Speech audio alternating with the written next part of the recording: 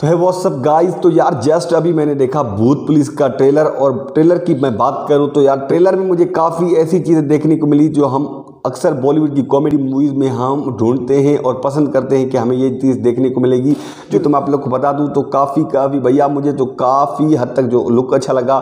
सबसे ज़्यादा तो सैफ अली खान का लगा, क्योंकि सैफ अली खान इस मूवी में होने वाले भभूति के किरदार में जो काफ़ी अच्छे लगे और जैकलिन फर्नांडिस का भी मुझे काफ़ी हद तक अच्छा लुक लगा।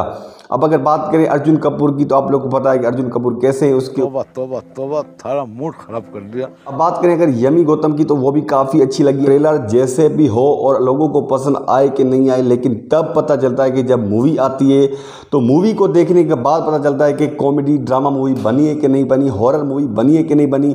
जैसे आप लोग अभी जस्ट मैंने ट्रेलर देखा तो मैं आप लोग को बता दूँ ट्रेलर एक नंबर मुझे लगा। लेकिन अगर बात करें टोटल इस मूवी का तो आप लोग को बता दें तो मूवी काफ़ी मच होने वाली है। क्योंकि अगर ये सिनेमा में रिलीज़ होती तो काफ़ी बॉक्स ऑफ़िस के पता चलता कि मूवी ब्लॉकबस्टर होगी कि नहीं होगी।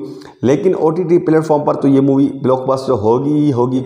उम्मीद है कि आप लोग को ट्रेलर पसंद आया होगा। अगर पसंद नहीं आया तो यार मूवी का वेट कीजिए मूवी को देखें, फिर पता चलेगा। क्योंकि ट्रेलर से कभी पता नहीं चलता कि मूवी अच्छी होगी कि नहीं होगी। चाहे आप लोग को मैं फिर से एग्ज़ाम्पल दूँ बोझ प्राइड ऑफ़ इंडिया का, जो काफ़ी हद तक बढ़िया ट्रेलर बनाया गया। ऐसा लगा कि भैया ये तो सारे रिकॉर्ड तोड़ देगा, लेकिन मूवी आई, फिर पता चला कि मूवी में क्या था, कुछ भी नहीं था। सारा पूरा बजट जो है ज़ाया कर दिया, कुछ भी अच्छा नहीं था। ऐसे मूवी का वेट करें मूवी आएगी तो तब पता चलेगा कि मूवी अच्छी है कि नहीं।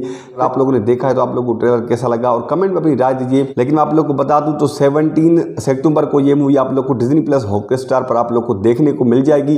तब तक दीजिए भाई को इजाज़त, अगर अच्छा लगा हो तो रिव्यू यार लाइक सब्सक्राइब कर देना। हम ऐसे अपडेट लाते रहते हैं आप लोगों के लिए सबसे पहले।